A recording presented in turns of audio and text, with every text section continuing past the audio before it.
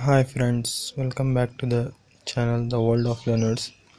Today we are going to learn about the design of rectangular sedimentation tank. Okay, so uh, here is a one problem which we have to solve.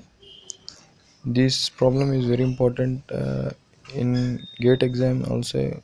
He might have asked many times. So let us see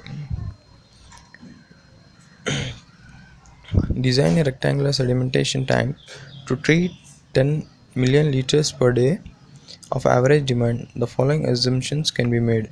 He has given the velocity of flow, detention time, and total depth of water.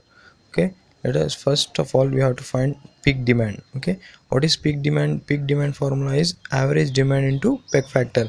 Peak factor will be totally constant. Okay, average demand. What is average demand? Is nothing but uh, the treatment he has given 10 million liters per day okay? That is the average demand that is 10 okay? Peak factor is 1.8 total if we are multiplying 10 into 1.8 is 18 okay? Million liters per day is nothing but 18 into 10 to the power of 6 liters per day okay? Next point we have to so calculate quantity of water to be treated during detention time okay? Here what is the detention uh, quality of water to be treated during detention time is nothing but detention time is 2 okay? Quantity of water 18 into 10 to the power of 6 by 24 into 1000 why we are doing 24 into 1000 is nothing but per day we have 24 hours okay? Next to find out the volume we are taking 1 meter cube equal to 1000 liter okay? For 1 liter 1 by 1000 that's the reason why we are taking 1000 here okay? Into 2 2 is nothing but detention time okay? 2 hours.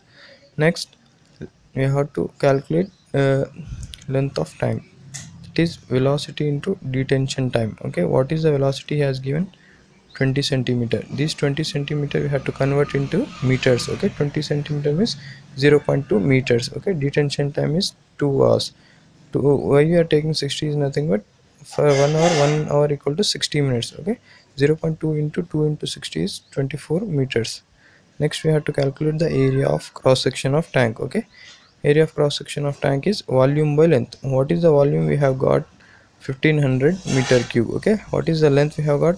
24 meters. Next here meter cube and meter. Meter will cancel and here meter. Next the value is 62.50 meter square okay? Next we have to find out the effective depth okay? What is the effective depth? Total depth of tank is 4 meters okay? Free body is nothing but the space which is left at the top of the tank okay? That is 0.5 meters. We have to uh, differentiate this. 4 meter minus 0.5 meter is 3.5 meter okay? That is the effective depth. Like we have to calculate the width of the tank. Width of the tank formula is area of cross section by effective depth. That is what is the area of cross section we have got? 62.50 okay? And effective depth is 3.5 meters. We get the value of 18 meters okay next point is adding 20 percent of length for inlet and outlet connection okay? Overall length what is overall length is equal to 24 plus length we have got is 24 next 20 percent is 24 into 20 by 100 that is 4.8 this is the length 24 meters total 28.8 approximately 29 meters okay? The overall dimensions of the tank are 29 meters in length and 18 meters in breadth or width okay and 4 meter is the depth. I hope you people have liked this video. Don't forget to subscribe my channel. Thank you